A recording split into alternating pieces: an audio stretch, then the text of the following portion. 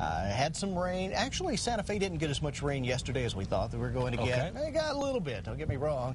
Uh, tonight, though, it's going to be a little iffy. Don't let that keep you away, though. If that's you, if that's something you want to do, just Absolutely. take the So umbrella fantastic. and enjoy it. Uh, still going to be quite a sight, no matter what the weather does. Meanwhile, here's what the weather is doing this morning. It's uh, spreading a few clouds across the state, and while we had a pretty good little shower roll through the metro area in the pre-dawn hours, it looks like a lot of the rain starting to let go. Just kind of wipe those clouds out of there so you can see what rain we've got, and it looks like right here through parts of the Rio Grande Valley, north to south, still some scattering of showers, and some other locations around the state.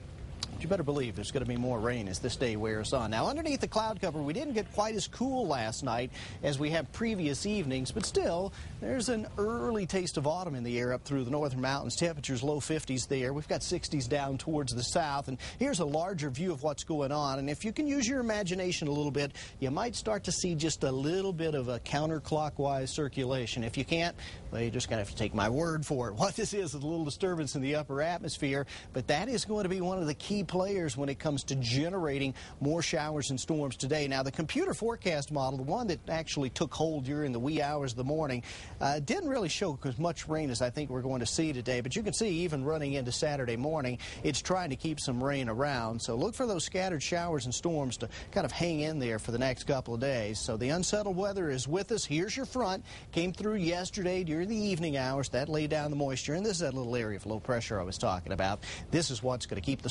going not only today, but possibly right on into tomorrow afternoon as well. So rain today and tomorrow in Santa Fe. Hopefully it'll go away in time, or at least take a break, that is, in time for the big festivities this evening. Scattered storms, though, remain a possibility right into the weekend. And while the heavy rains didn't really materialize at the Sunport, parts of Albuquerque got drenched yesterday.